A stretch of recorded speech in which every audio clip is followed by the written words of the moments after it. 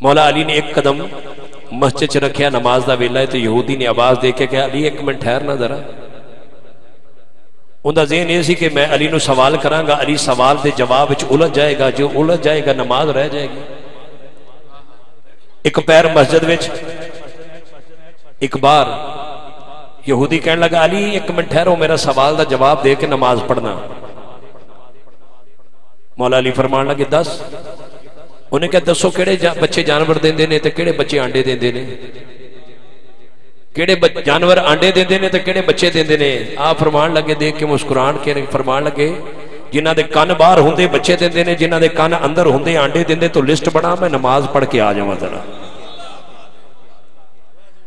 پھر پوچھیا، حضور تو آنے کو لو جدو بھی سوال کریے، تسی سوچ دے کیوں نہیں آپ فرمان گے تیرے ہاتھ دیا انگلیاں آپ فرمان گے تو سوچیا کیوں نہیں انہیں کیا حضور میری ہتھاں دے سامنے میں پتا ہے میرے ہاتھ دیا انگلیاں پانچ نے آپ فرمان لگے جی تینوں تیرے ہاتھ دیا انگلیاں دا پتا ہے میں ساری کائنات دا پتا ہے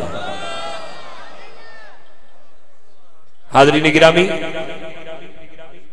میرے حضور فرمان نے جنت دے اٹھ دروازے نے کنے جانا ہے کہ نہیں جانا جنہیں جانا ہے گوڑیا تو ہاتھ چکے کبھی سبحان اللہ پتہ چلے جنت جان دا ارادہ لے کے بیٹھے میرے حضور فرماتے نے، میرے یار سیدنا صدیق اکبر رضی اللہ تعالیٰ عنہ ایسے یار نے جس دروازے چان کے جنت میں ٹر جان گے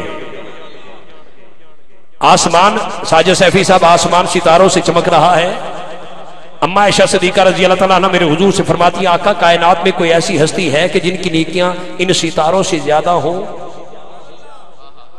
میرے حضور فرماتے عائشہ، ایک ہستی ہے جن کی نیکیاں ان ستاروں سے زیادہ ہیں۔ وہ ہستی میرے یار عمر کی ہستی ہے۔ عرش پر فرشتے عمر کی عزت کرتے ہیں۔ زمین پہ نام عمر آ جائے، شیطان دوڑ لگا دیتا ہے۔ اس کی ہستی ہے کہ جن کی نیکیاں ان ستاروں سے زیادہ ہے۔